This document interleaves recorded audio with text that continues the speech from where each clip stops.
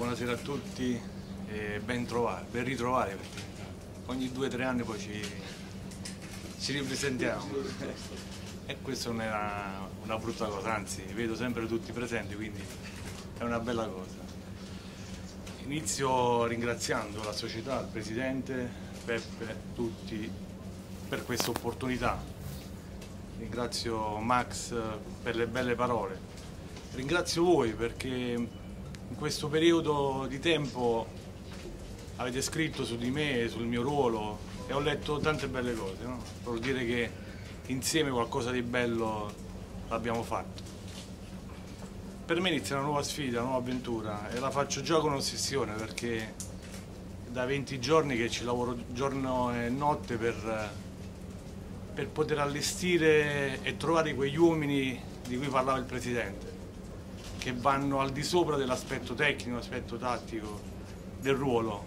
E per me è un'ossessione perché lavorando per la squadra per la quale tifi eh, non è facile perché va al di sopra di, di essere un dirigente di qualunque squadra, no? perché sei legato a doppio filo.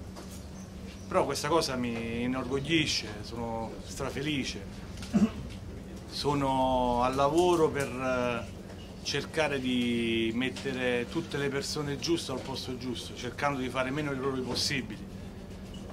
Eh, già, siamo già a buon punto perché il quadro del settore l'ho quasi completato e in anteprima vi posso dire che a luglio, la prima settimana di luglio presenteremo tutto il settore giovanile composto da staff tecnico, preparatori atletici, staff sanitario, quest'anno aggiungeremo la figura del nutrizionista, eh, stiamo allestendo un settore giovanile formato da uomini importanti, uomini che devo ringraziare perché non, eh, quando ci siamo confrontati l'ultima cosa che mi hanno chiesto era l'aspetto economico.